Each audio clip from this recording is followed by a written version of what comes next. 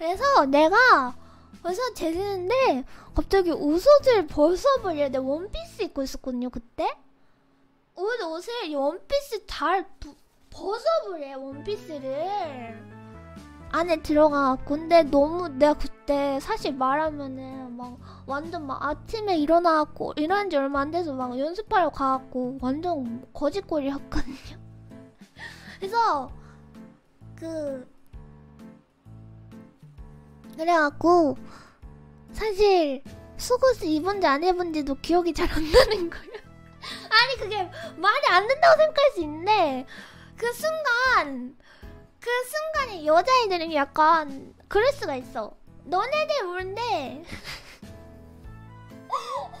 아니 그게 그 그러니까 약간 너무 자연스러워 갖고 없는 것 같이 느낄 때도 있고 입었는데도 안 입었을 때가 있고 약간 그런 게 있어요. 그냥 그 사람이 내가 그 사람이 앞에 없었으면 내가 확인을 해봤을 텐데 그 사람이 그냥 줄자대고 내 앞에 바로 앞에 있으니까 확인을 내가 해볼 수가 없잖아. 그냥 느낌상으로 하, 뭔가 잘 모르겠는 거야. 아니 뭐래?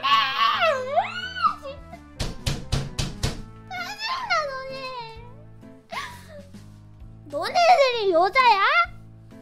너네들이 그런 걸 어떻게 알아?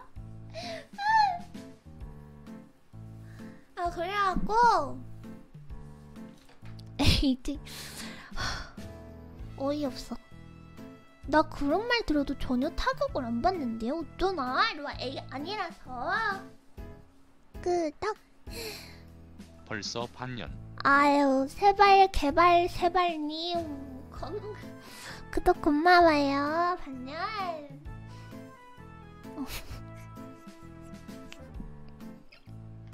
가민 반응을 누가 했다 그래요? 루아가 언제 가민 반응을 했죠? 어이없다 진짜 나 완전 냉정한데 아니 내가 내 말 안 끊어 한국어는 끝까지 들어간다는 거 모르시나요 여러분? 아, 나 삐졌어. 말 안 해. 너네들끼리 놀아. 바이바이.